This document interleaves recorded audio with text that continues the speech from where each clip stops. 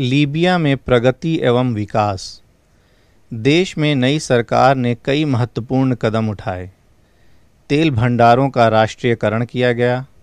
घुमंतु जातियों को सिंचित कृषि ज़मीन दी गई और उन्हें एक जगह बसाया।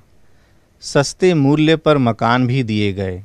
सभी के लिए निःशुल्क प्राथमिक शिक्षा, निःशुल्क स्वास्थ्य सुविधाएँ और आवास योजनाएँ शुरू की गई। महिलाओं को समाज में पुरुषों के समान स्थान दिलवाया और उनके अधिकार के लिए कानून भी बनाए। कोई भी पुरुष एक से अधिक विवाह नहीं कर सकता था। महिलाओं को स्वतंत्रता एवं समानता के अधिकार दिए गए। महिलाओं को व्यापार करने, संपत्ति रखने, सरकारी नौकरी करने के हक भी दिए गए। लीबिया के लोगों की औसत आयु 50 वर्ष से बढ़कर 77 वर्ष हो गई। सन 2010 में लीबिया में स्त्री पुरुष साक्षरता दर 90 प्रतिशत रही। इसी कारण पूरे अफ्रीका में सामाजिक कल्याण के क्षेत्र में लीबिया को सर्वोच्च स्थान प्राप्त हुआ।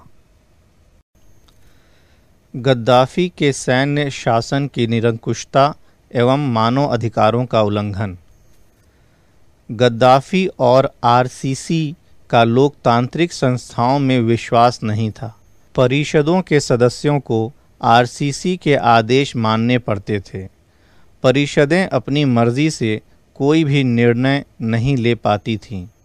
इसलिए लोगों ने इन परिषदों में कोई विशेष रुचि नहीं ली। यही वो समय था जब राजनैतिक चुनौती देने वाले नेताओं का दमन किया गया। सैनिक सरकार किसी भी प्रकार के विरोध को सहन नहीं करती थी, तथा विरोधियों को बंदी बनाने व मौत के घाट उतारने और अत्याचार के लिए क्रूर तरीके अपनाती थी।